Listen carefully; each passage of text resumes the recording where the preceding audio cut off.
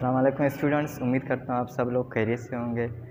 पिछले वीडियो में मैंने आप लोगों को किसी वेक्टर को एडिशन वेक्टर का एडिशन बताया था। मतलब किसी वेक्टर को ए टू टेल रूल के ज़रिए किस तरह ऐड करते हैं और उसको पैरालीलोग्राम लॉ के ज़रिए किस तरीके से ऐड करते हैं। आज हम एक और टॉपिक की तरफ़ आए हैं, जो है resolution of a vector into its rectangular component मतलब किसी वेक्टर को उसके रेक्टेंगुलर कंपोनेंट में हम किस तरीके से रिजोल्व करते हैं, उनको डिवाइड करते हैं। तो सबसे पहले हम क्या करते हैं, एक एक्स वाई प्लेन में एक वेक्टर सपोज़ करते हैं। Let A B a vector in a x y plane हम क्या लेते हैं, एक एक्स वाई प्लेन लेते हैं। Suppose this is our x y plane this is x you ठीक है? और इसका जो ये ज्वाइनिंग पॉइंट है एक्स और वाई का, इसको हम ओरिजिन पॉइंट मान लेते हैं। और इस ओरिजिन पॉइंट से हम क्या करते हैं? वेक्टर ए ड्रॉ करते हैं इस तरीके से। ये हमारा वेक्टर अब हमें क्या करना है? इस वेक्टर ए को उसके रेक्टेंगुलर कंपोनेंट में तकसीम करना है रिजोल्व करना है। उसके करने के लिए हमको क्या करना पड़ेगा? पहले हमें करना पड़ेगा कि हमें इसका दो परपेंडिकुलर ड्रॉ करने पड़ते हैं, ठीक है? ड्रॉ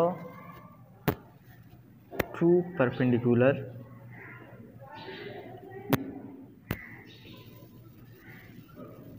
ठीक है? हम क्या करते हैं, इस वेक्टर ए के ज़रिए हम दो परपेंडिकुलर ड्रॉ करते हैं। किस तरीके से? ये क्या हो गया? एक परपेंडिकुलर हो गया। ठीक है, परपेंडिकुलर क्या कहते हैं? जब कोई लाइन बिल्कुल सीधा मतलब ये जो लाइन है, इसके बिल्कुल सीधा आ रहा है तो ये क्या है 90 डिग्री बना रहा है। तो हम कहते हैं ये लाइन इस लाइन पर क्या है परपेंडिकुलर है। तो यहाँ ये जो है, ये वाला लाइन है और ये क्या है 90 डिग्री बना रहे हैं तो हम कहते हैं ये क्या है परपेंडिकुलर है। और एक परपेंडिकुलर हम यहाँ से ड्रॉ करते हैं। ठीक है, अब यहाँ देखो, ये जो हमारा वेक्टर है, ये वेक्टर का दो कंपोनेंट बन गए। ये हो गया हमारा एक्स वाला मतलब यहाँ से लेकर यहाँ तक, ये जो हिस्सा है, ये हमारे वेक्टर ए का कौन सा हिस्सा है? एक्स वाला हिस्सा है, ठीक है? और ये जो हिस्सा है मतलब यहाँ से लेकर ये वाला हिस्सा ले लो, या ये वाला हिस्सा ले लो, दोनों सेम है। तो ये क्या है वेक्टर ए का?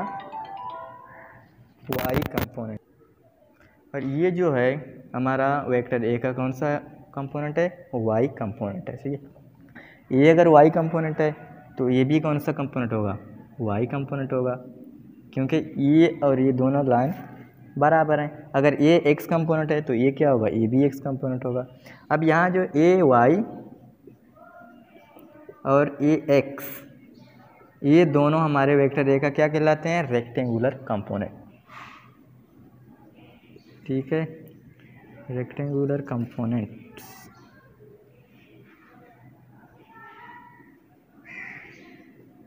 of vector A. अब हमें क्या करना है? वे रेक्टेंगुलर कंपोनेंट को फाइंड आउट करना है। इसको किस तरीके से फाइंड आउट करते हैं? चलिए देखते हैं। अगर ए एक्स वाला कंपोनेंट है एक्स वाले हर वक्त हम किस, कौन से ट्रिग्नोमेट्रिक रेशियो के ज़रिए मालूम करते हैं? कोस थीटा के ज़रिए।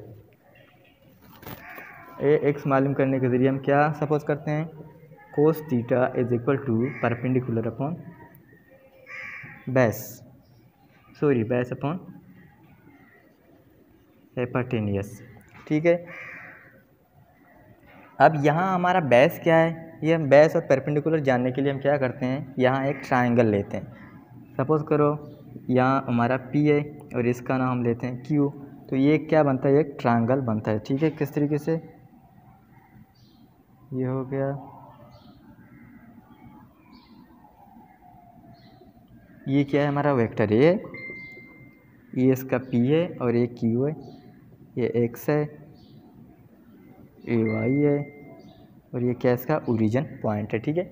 अब ये हमें मालूम करना है तो ठीक है कोस यहाँ से अगर देखें, ये अगर हमारा एंगल है तो एंगल के साथ वाला क्या होता है? हेपाटेनिस होता है और एंगल के जो, बिल्कुल ये है, ये हमारा परपेंडिकुलर होता है और ये जो नीचे वाला है, ये हमारा बैस होता है, ठीक है? अब यहाँ अगर बैस ले लें बैस क्या है? ए एक्स ठीक है? और नीचे क्या है? हेपाटिनियस तो हेपाटिनियस वेक्टर ए है। तो यहाँ ये डिवाइड हो रहा है। इस तरफ़ जाकर इसके साथ क्या होता है? मल्टीप्लाई होता है। Is equal to a x अब ये जो है, ये वेक्टर का कौन सा फॉर्म है, ये वेक्टर फॉर्म है। ठीक है? अब अगर हम इस वेक्टर को उसके मैग्नीट्यूड फॉर्म में लिखना चाहें तो कैसे लिखते हैं? तो ये जो वेक्टर साइन है, इसको हम ख़त्म करते हैं। तो क्या होता है?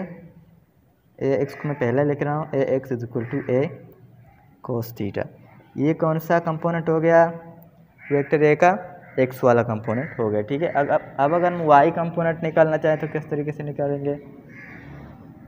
तो वाई कंपोनेंट के लिए हर वक्त हम ट्रेग्नोमेट्रिक रेशो कौन सा इस्तेमाल करते हैं? साइन थीटा ठीक है? साइन थीटा इक्वल होता है परपेंडिकुलर अपॉन हेपाटिनियस का। तो sine theta is equal to perpendicular ले लें तो परपेंडिकुलर यहाँ क्या है? ए वाई है। और हमारा हेपाटिनियस पैर वाई है वेक्टर ए हम क्या करते हैं? इधर इधर डिवाइड हो रहा है इस तरफ़, जाकर मल्टीप्लाई होगा। तो a sine theta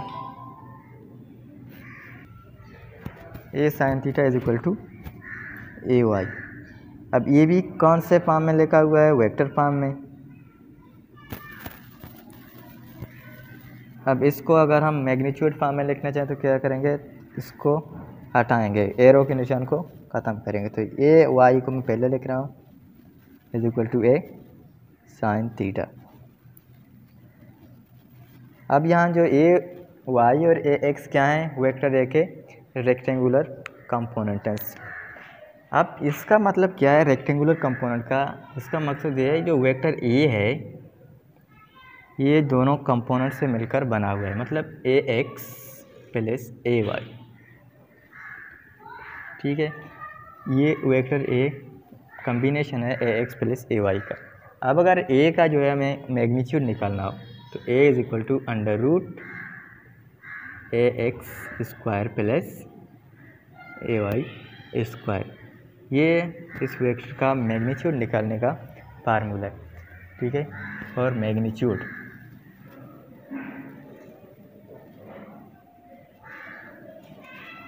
और अब अगर मैं इसका डायरेक्शन निकालना हो तो कैसे निकालते हैं? तो डायरेक्शन